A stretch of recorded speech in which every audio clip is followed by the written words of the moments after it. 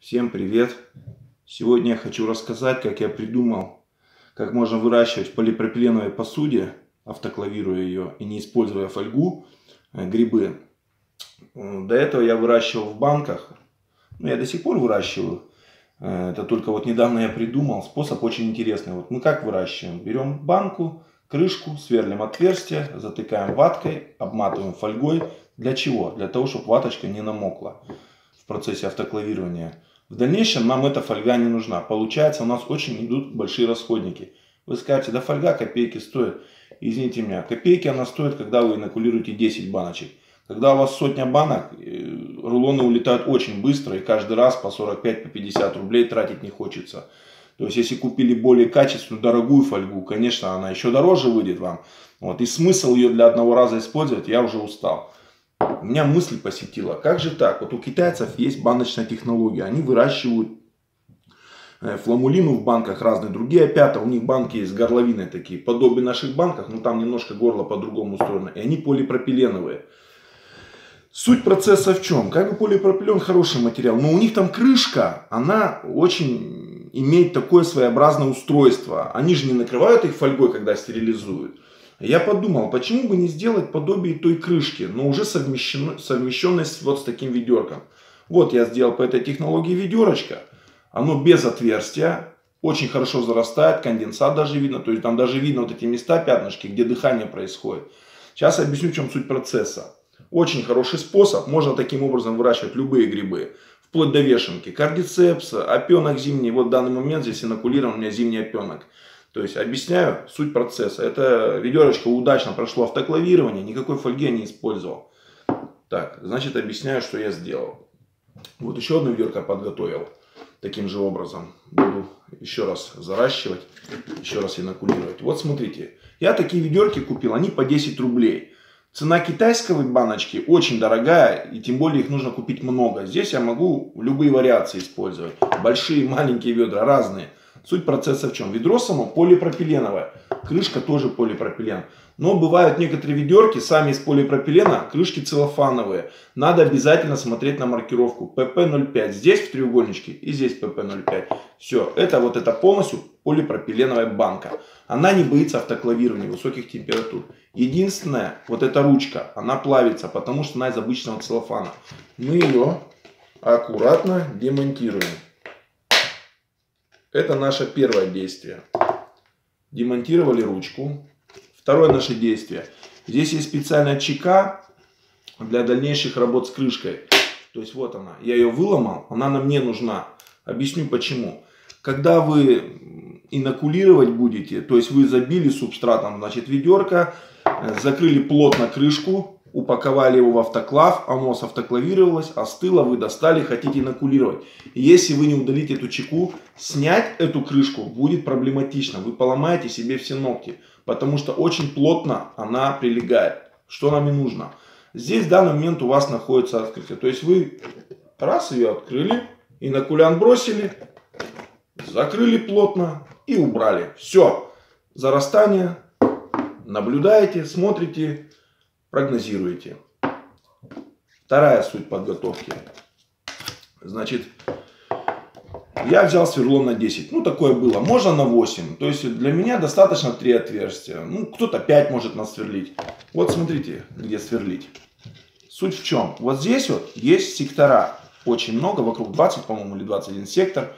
Сверху они не сопряжены с наружным воздухом. То есть, только изнутри отверстия у них есть. Вот. Это усиление нашей горловины. Значит, суть метода. Я беру это десяточкой. Почему я взял сверло именно с конусным вот этим вот острием? То есть вот острие и по бокам вот эти вот режущие части. Когда я буду сверлить, они быстро очень высверливают отверстия. То есть в отличие от конусного сверла, обыкновенного по металлу, надо проткнуть им, да, оно далеко уходит. Данный момент здесь очень мне подходит, оно сразу высверливает аккуратненько отверстие, не нарушая целостности. То есть вот э, главное не торопиться. Почти сверху, почти где там крышка закрывается, я натыкаю посередине любого из секторов. Не надо сильно жать. Раз отверстие. примерно там треугольничек. Я вот сделаю типа знака Мерседеса. Вот, видите? Ну, не сильно вроде выскочило. На конус сверлил. Ничего страшного, бывает. То есть, я просто тороплюсь.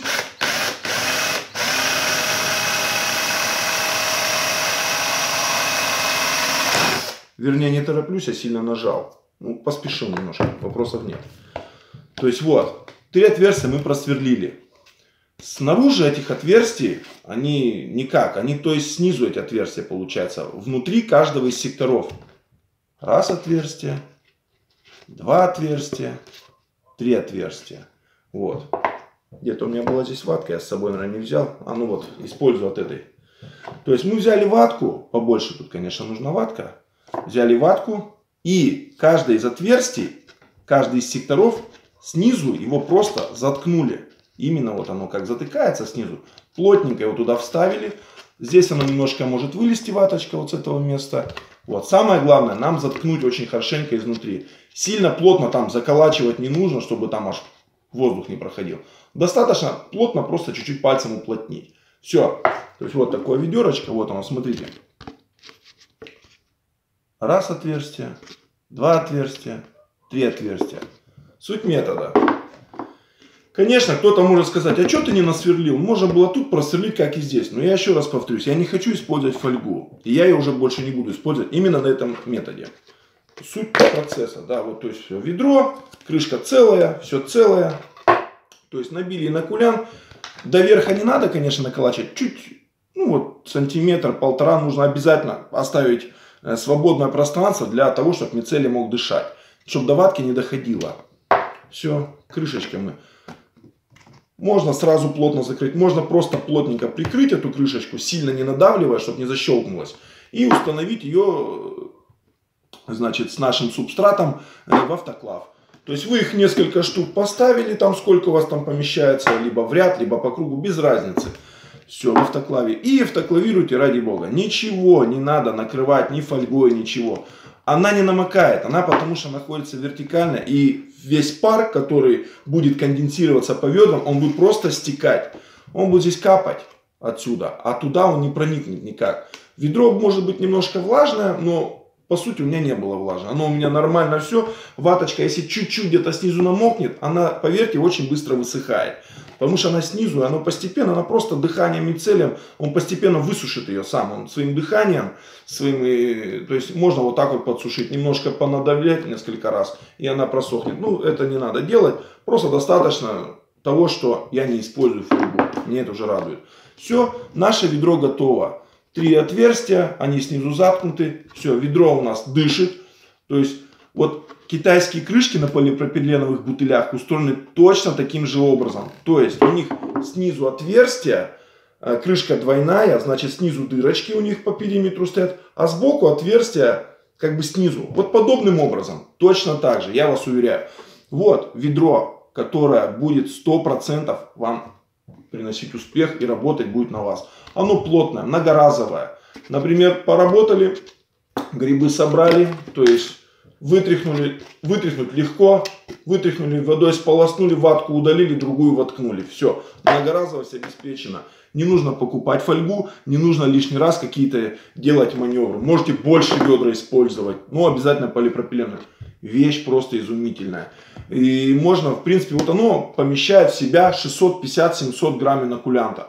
То есть можно с отверстием делать, то есть вы буквально вот э, забили его там опилом своим, плотно воткнули туда палку, вытащили ее, закрыли крышечкой, все, у вас не мнется, не ломается, поставили, инокулировали потом после в канал туда, то есть крышку открыли, где тут у меня, инокулянт несли, плотно закрыли и убрали в инкубатор. Все, вы смотрите, вы наблюдаете. Можно использовать ведра из-под майонеза, но они непрозрачные и тяжело в них наблюдать и видеть, как у вас все растет. Данный момент, данный способ очень интересен своей многоразовостью, многоцелостностью.